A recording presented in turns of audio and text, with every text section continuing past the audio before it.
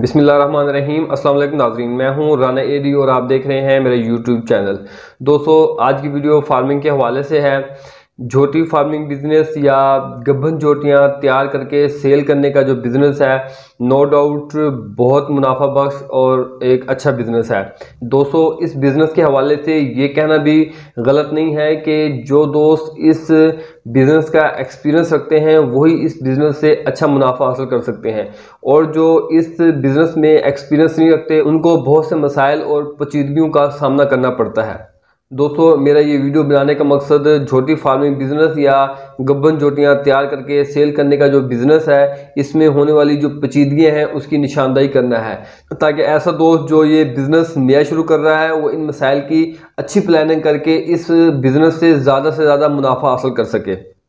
ऐसे दोस्त जो ये बिज़नेस स्टार्ट करना चाहते हैं, लेकिन इस फ़ील्ड में या इस बिज़नेस का तजर्बा और एक्सपीरियंस नहीं रखते, वो यकीनन आज की वीडियो से फ़ायदा हासिल कर पाएँगे।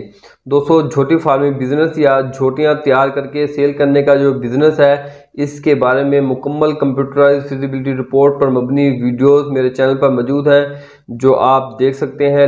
लिंक आपको आई बटन डिस्क्रिप्शन और वीडियो के लास्ट में मिल जाएगा। दोस्तों, सबसे पहले हम ये देख लेते हैं कि कौन सी जोटी या कैसी जोटी हमें अच्छा मुनाफा देगी। उसके बाद हम उसके बरक्स देखेंगे कि कौन से ऐसे मसाइल हैं जो कि हमारे मुनाफे को कम कर सकते हैं। दोस्तों, ये जो चीज़ें या ये जो पचीदगियाँ जो मैं आप दोस्तों के साथ डिस्कस करने लगा हूँ, ये मैं अपने तजर्बे के बिहाफ पे शेयर करने लगा हूँ। मुझे लगता था कि मैं आपके साथ शेयर करूँगा तो हो सकता है आप लोग इससे फ़ायदा हासिल कर सकें। दोस्तों, हमें ऐसी झोटी बेहतर मुनाफा देगी जिसकी डिलीवरी टाइम पर हो। डिलीवरी होने के बाद कट्टा या कट्टी सेहतमंद हो। झोटी की डिलीवरी के बाद झोटी की सेहत अच्छी रहे। आप दोस्तों को पता है कि झोटी जब तैयार होती है तो वो अच्छा हवाना बना लेती है, लेकिन बिहाने के बाद उसका जो, अडर का जो असल शेप होती है, वो बाहर निकलती है। तो बिहाने के बाद उसका जो अडर है या उसका हवाना है, वो खूबसूरत हो। झोटी के जो थन है, उनका फासला मुनासब होना चाहिए। थन खूबसूरत होने चाहिए। थन के अंदर से जो दूध है, वो बेहतर आना चाहिए। धार मोटी आनी चाहिए। मतलब फुआरा ना आए। और सबसे अहम बात यह है कि डिलीवरी के बाद जब आप कट्टा या कट्टी को दूध पिलाते हैं तो झोटी जो है वो आसानी से अपने बच्चे को दूध पिलाए। तो ये जो चीज़ें हैं, ये एक अच्छी झोटी की निशानदेही करती हैं। तो इस तरह की झोटी जो है हमें अच्छा मुनाफा देगी। दोस्तों, इसके बरक्स जब एक नई झोटी की डिलीवरी होती है तो उसमें क्या क्या मसाइल का सामना आपको करना पड़ सकता है, वो मैं आपको बताता हूँ। सबसे पहले है, डिलीवरी के दौरान किसी प्रॉब्लम का हो जाना। डिलीवरी होने के बाद कट्टा या कट्टी के सेहत के हवाले से आपको मसाइल का सामना करना पड़ सकता है। डिलीवरी के बाद अगर बच्चा सेहतमंद है तो आपको जो झोटी है, उसकी सेहत के हवाले से मसाइल का सामना करना पड़ सकता है। दोस्तों, जब पहलन झोटी की डिलीवरी होती है तो जब वो अपने बच्चे को दूध पिलाती है तो उसमें भी आपको मसाइल का सामना करना पड़ सकता है। झोटी बाद दफ़ा अपने बच्चों को पहचानती नहीं, दूध नहीं पिलाती। जब झोटी के दूध धोने का टाइम आता है तो आपको थनों में मसाइल का सामना करना पड़ सकता है। बाद दफ़ा थन ख़राब हो सकता है बाद दफ़ा थन के अंदर फवार आती है। इसके अलावा जब आपकी झोटी की डिलीवरी हो जाती है तो उसके बाद जो आपकी झोटी है, उसका अडर या उसका हवाना जो है, वो उसकी प्रॉपर शेप में आता है।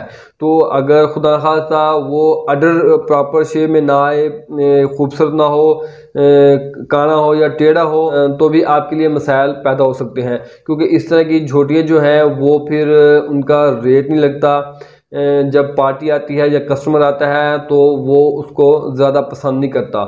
तो इस तरह के मसाइल भी आपको फेस करना पड़ सकते हैं। अगर आप पचास झोटियों की फ़ार्मिंग कर रहे हैं तो 25 झोटियाँ तो तकरीबन ठीक निकलाती हैं, लेकिन 25 झोटियों में इस तरह के मुख्तलिफ़ मसाइल का सामना करना पड़ सकता है। किसी को डिलीवरी के दौरान प्रॉब्लम हो सकती है कोई जो है डिलीवरी के बाद आपको परेशान कर सकती है, किसी के थन में ख़राबी आ सकती है, किसी का अडर या हवाना जो है वो खूबसूरत नहीं होता या वो प्रॉपर शेप में नहीं निकलता। या ऐसा भी हो सकता है कि पच्चीस में से चंद झोटियाँ जब आप कट्टे को या कट्टी को या झोटी के बच्चे को दूध पिलाते हैं तो वो दूध ना पिलाने दे, उसको पहचाने ना, उसको मारने लग जाए।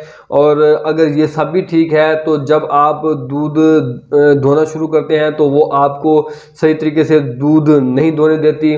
तो इस तरह के मसाइल दोस्तों आपको फेस करना पड़ सकते हैं। तो दोस्तों, यहाँ पर बहुत से दोस्तों के जहन में ये बात आ रही होगी कि इन तमाम मसाइल का हाल ये है कि हम झोटियों को डिलीवरी से पहले सेल कर दें तो उनका रेट भी अच्छा मिल सकता है।